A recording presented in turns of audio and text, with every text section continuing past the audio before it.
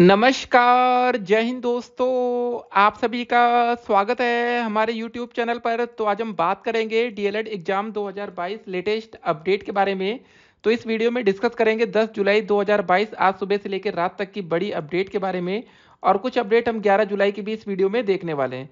तो दोस्तों, चलिए वीडियो को शुरू करते हैं और आज की बड़ी अपडेट में सबसे पहले बात करेंगे रिज़ल्ट के लिए सिर्फ़ डी जी हाँ दोस्तों गूगल पर आपको जाके टाइप करना है D E L E D R E S U L T dot C O M जहाँ पर दोस्तों आप डी का प्रथम सेमेस्टर द्वितीय, तृतीय, चतुर्थ सेमेस्टर का रिज़ल्ट सबसे पहले डाउनलोड कर पाएँगे। अब देखिए आपके मन में एक सवाल होगा बीएड का एंट्रेंस एग्ज़ाम हो चुका है, उसका भी अब रिज़ल्ट आएगा जल्द ही। उसके लिए भी दोस्तों हमने कमेंट बॉक्स में लिंक दिया, जहाँ से आप लोग उसको भी लगातार चेक कर सकते हैं। डीएलएड 2022 एडमिशन की प्रक्रिया लगातार जारी है ऑनलाइन आवेदन करना चाहते हैं तो उसका भी लिंक दिया गया है। तो एक और बड़ी अपडेट आपके सामने रखते हैं। आठ हज़ार राजकीय शिक्षकों का मांगा वेतन बंद रखेंगे स्कूल उसके बाद दोस्तों बात करेंगे स्कूल में घुसकर व्यक्ति ने प्रधानाध्यापक और अध्यापक से की है मार्कपीट पूरी अपडेट को देखेंगे। अधिकारियों से कल संवाद करेंगे बेसिक शिक्षा मंत्री। ये बड़ी अपडेट है और रिक्त पदों को शिक्षक भर्ती में शामिल करने के लिए सीएम को ट्वीट किया गया। जी हाँ दोस्तों, ये बड़ी खबर आप लोगों के लिए होगी कि मामला क्या है दोस्तों, नई शिक्षक भर्ती का अपडेट है प्रयागराज से। युवा मंच के प्रतिनिधियों ने सीएम को ट्वीट कर मांग की है कि महाविद्यालय एवं माध्यमिक विद्यालयों में रिक्त पड़े पदों को भी शिक्षक भर्तियों के मौजूदा विज्ञापन में शामिल किया जाए। युवा मंच के अध्यक्ष अनिल सिंह ने सीएम को ट्वीट कर दावा किया है कि अशासकीय महाविद्यालयों में असिस्टेंट प्रोफेसर के सत्रह हज़ार पद और अशासकीय माध्यमिक विद्यालयों में सत्ताईस हज़ार पद खाली हैं। इसके बावजूद उच्चतर शिक्षा सेवा आयोग ने असिस्टेंट प्रोफेसर के 917 पदों और माध्यमिक शिक्षा सेवा चयन आयोग ने टीजीटी पीजीटी के तकरीबन चार हज़ार पदों पर भर्ती के लिए विज्ञापन निकाला। सोचिए, जब पद इतने ज़्यादा खाली है तो दोस्तों, वैकेंसी इतने कम पदों पर क्यों आ रही है? मतलब कहा यह गया कि टीजीटी पीजीटी के लगभग सत्ताईस हज़ार पद खाली हैं, लेकिन वैकेंसी आई है तकरीबन सिर्फ़ चार हज़ार पदों के लिए। तो यहाँ पर एक बात और बता दें, जो हमारी प्राइमरी शिक्षक भर्ती आएगी तो सरकार ने खुद कहा था इक्यावन हज़ार एक सौ बारह पद खाली हैं। सुप्रीम कोर्ट में हलफनामा था जब मामला शिक्षा मित्र और डीएलएड बीएड छात्रों का चल रहा था कटाप को लेकर। ठीक है, जो फाइनल पासिंग मार्क था दोस्तों उस समय, साठ परसेंट परसेंट किया जाए या ना किया जाए, इसलिए मामला सुप्रीम कोर्ट में गया था। लेकिन दोस्तों वहाँ पर सरकार ने कहा था कि हम शिक्षा मित्रों को एक और मौका देने के लिए तैयार हैं।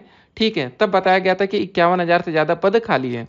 उस समय दोस्तों ये जानकारी सामने आई थी कि इक्यावन हज़ार से ज़्यादा पद खाली हैं। चुनाव के समय सरकार ने दोस्तों ये कहा था कि हम तकरीबन सत्रह हज़ार पदों पर वैकेंसी निकालेंगे नई भर्ती के लिए। लेकिन दोस्तों अभी तक कोई वैकेंसी नहीं आ पाई। तो बच्चे लगातार परेशान हैं। अब देखिए दोस्त, एक और बड़ी अपडेट है दिल्ली से। B Ed B S T C विवाद पर सुप्रीम कोर्ट से बड़ी खबर है। आज 10 जुलाई 2022 की एडवांस लिस्ट में केस लिस्टेड हो गया है। B Ed B S T C विवाद की फाइनल सुनवाई सुप्रीम कोर्ट में। 19 जुलाई 2022 को होगी। 19 जुलाई 2022 को होगा अंतिम फैसला। दोस्तों, इस समय की बड़ी खबर हम आपके सामने रख रहे हैं। कमेंट बॉक्स में यूपी टेट का भैया लिंक दिया गया, जहाँ पर आप लोग अधिक जानकारी प्राप्त कर सकते हैं।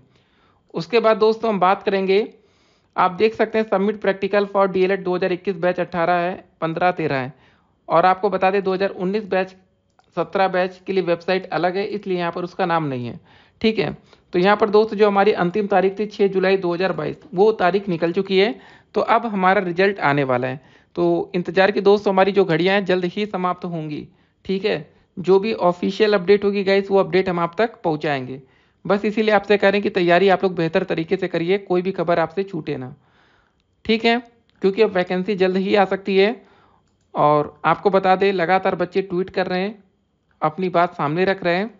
अब देखिए, होता क्या है कि महाधरने की तैयारी। जी हाँ दोस्तों आने वाले समय में हो सकता है कि नए शिक्षक भर्ती के लिए फिर से एक बार महाधरना किया जाए। अब देखिए, एक और सवाल होगा आपके मन में कि यूपी टेट सी टेट और सुपर टेट के लिए क्या खबर है? तो भैया उम्मीद यही कि पीएनपी सचिव ने तो भैया क्लियर कर दिया कि यूपी टेट के लिए आवेदन अभी जल्द शुरू नहीं होंगे, समय लग सकता है। जो भी अपडेट आएगी अपडेट हम आप तक पहुंचाएँगे, क्योंकि अभी आपको पता है कि जनवरी में पेपर हुआ था यूपी टेट का।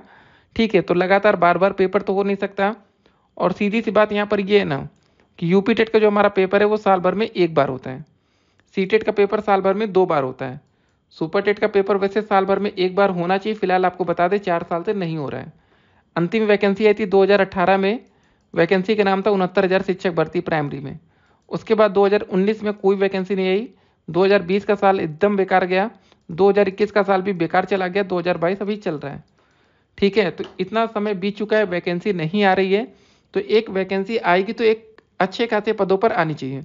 और ये दोस्तों मान के चलिए, तकरीबन हर साल कुछ नहीं तो दस से लेकर पंद्रह हज़ार तक टीचर हो सकता है, रिटायर हो रहे हों।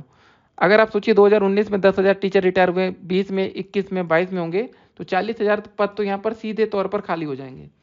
तो वैकेंसी क्यों इतने कम पदों पर निकाली जा रही? क्यों छात्रों के साथ नाइंसाफ़ी हो रहा है? देखिए, जब अग्निवीर वाली खबर आई थी चार साल, उसके बाद दो परसेंट लोगों को निकाला जाएगा, पच्चीस परसेंट लोगों को पक्का कर दिया जाएगा। तो हो सकता है कि आने वाले समय में सरकार शिक्षक विभाग में भी ऐसा सोच सकती है। इसीलिए बेहतर यही कि जल्द से जल्द वैकेंसी आए, कोई नया नियम कानून ना बने, बिना नियम कानून बने ही वैकेंसी आ जाएगी तो बेहतर रहेगा। नहीं तो कुछ नया नियम बन जाएगा तो फिर दिक्कत होगी छात्रों के लिए। सबसे ज़्यादा परेशान होते फेल छात्र। देखिए, जिन बच्चों की बैक एक या दो विषय में बची है, डीएलएड कंप्लीट है, लेकिन एक दो विषय के चक्कर में वो बच्चे नई भर्ती का फॉर्म नहीं डाल पाते। तो इंतज़ार में बच्चे रहते कि कैसे जल्द से जल्द अपना भैया बैक क्लियर करें। उसके बाद दोस्तों इस अपडेट को जरा देखिए। अधिकारियों से कल संवाद करेंगे बेसिक शिक्षा मंत्री जी। लखनऊ से अपडेट है। प्रदेश के बेसिक शिक्षा विभाग के अधिकारियों से बेसिक शिक्षा मंत्री संदीप सिंह का संवाद सोमवार 11 जुलाई को होगा। इसके लिए सभी जिला बेसिक शिक्षा अधिकारियों के अलावा मंडलीय बेसिक शिक्षा निदेशकों व अन्य अधिकारियों को भी बुलाया गया है। ये संवाद कार्यक्रम इंदिरा गांधी प्रतिष्ठान के मरकरी हॉल में होगा। इस मौके पर प्रदेश में चल रहे बेसिक शिक्षा परिषद से जुड़े विभिन्न योजनाओं पर चर्चा की जाएगी। तो दोस्त, ये बड़ी बड़ी खबरें थी, लेकिन वैकेंसी की बात यहाँ पर नहीं लिखी है कि क्या जल्द ही नई शिक्षक भर्ती का विज्ञापन आएगा। अब देखिए जिन बच्चों की बैक लगी है, वो बच्चे बहुत परेशान हैं। इस अपडेट को जरा देखिए, स्कूल में घुसकर व्यक्ति ने प्रधानाध्यापक और अध्यापक से की मारपीट। तो दोस्त ये अपडेट निकल कर आई, तरैया सुजान थाना क्षेत्र के उच्च प्राथमिक सिसवा। दीगर में शनिवार दोपहर स्कूल में घुसकर एक व्यक्ति ने प्रधानाध्यापक श्याम बिहारी दुबे और अध्यापक महेश सिंह से मारपीट कर दी। घटना से शिक्षक और छात्र छात्राएँ परेशान हो गए। सूचना पाकर पुलिस पहुँची। ठीक है, पुलिस मामले की जाँच कर रही है। घटना की सूचना पाकर प्राथमिक शिक्षक संघ, सेव रही के कार्यवाहक अध्यक्ष धर्मेंद्र सिंह, उपाध्यक्ष संजय सिंह के नेतृत्व काफ़ी संख्या में शिक्षक थाने पहुँच गए। पीड़ित अध्यापकों ने तहरीर देकर कार्रवाई की मांग की। थाना के उप निरीक्षक हरिकेश्वर सिंह ने कहा, जाँच करके कार्रवाई की जाएगी। मतलब भैया, पुलिस के पास आप जाएँगे तो ये हमेशा जाँच का ही हवाला देते हैं। और आपको दोस्तों बता दें, हमारे घर में खुद चोरी हुई थी, आपको पता है ना? क्या वह दोस्त, उसका अभी तक कोई नतीजा नहीं निकला? अगली अपडेट आपके सामने रख रहे हैं। आठ हज़ार राजकीय शिक्षकों का मांगा वेतन, बंद रखेंगे स्कूल। तो हर जगह से दोस्तों अलग अलग अपडेट यहाँ पर देखने को मिल रही है। बाकी कुछ और अपडेट्स आएँगे तो अपडेट हम आप तक पहुँचाएँगे। D L Ed, B Ed, हर एक अपडेट हम आप तक लगातार पहुँचाते रहते हैं। कोई भी खबर आपको इस यूट्यूब चैनल से छूटेगी नहीं। ठीक है, बस आप लोग परीक्षा की तैयारी बेहतर तरीके से करिए। और आपको दोस्त एक और बात बताना चाहेंगे कि डी हमने सेकेंड सेमेस्टर की सारी वीडियोस बना रखी है फोर्थ सेमेस्टर की सारी वीडियोस बना रखी है। आप लोग नए वीडियो के लिए परेशान मत हुआ करिए, क्योंकि देखिए सिलेबस चेंज नहीं हो रहा है। जब सिलेबस चेंज होता है, तब नई वीडियोस की ज़रूरत होती है। ठीक है? तो हम चाहते हैं दोस्तों, जब एक अच्छा कंटेंट आपके लिए अवेलेबल है तो आप उससे पढ़कर एक अच्छा स्कोर कर सकते हैं। आपके जूनियर बच्चों ने भी एक अच्छा स्कोर किया तो डेफिनेटली आप कर सकते हैं। बस, तैयारी अच्छा की, अच्छे से कीजिए, लापरवाही मत करिए। मिलते हैं एक और वीडियो में, और भी अधिक अपडेट के साथ। जो भी अपडेट आएगी, हर एक अपडेट आप तक पहुँचाएँगे। तो यूपी टेट के लिए आवेदन की प्रक्रिया जल्द शुरू होगी, और उम्मीद है कि यू जुलाई लास्ट या सितंबर, अक्टूबर तक इसका नोटिफिकेशन आए। समय लगेगा, ठीक है। मिलते हैं एक और वीडियो में, तब तक के लिए stay connected have a nice